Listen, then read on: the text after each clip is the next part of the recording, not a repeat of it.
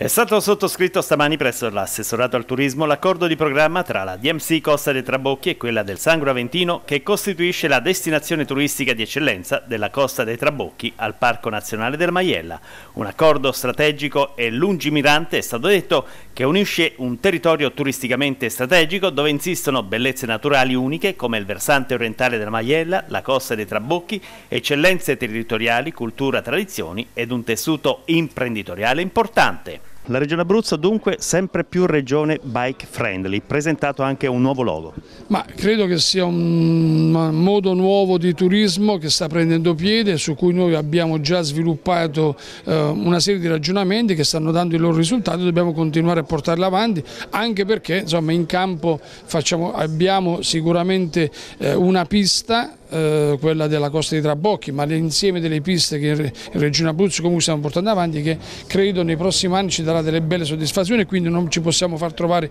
impreparati. Oggi alla costa uniamo le zone interne, la montagna, un settore particolarmente importante che sta prendendo piede anche forse per questo virus che è in giro, eh, prima qualcuno in conferenza stampa diceva che le, le presenze sono quintuplicate e quindi bisogna tenere conto anche di questo.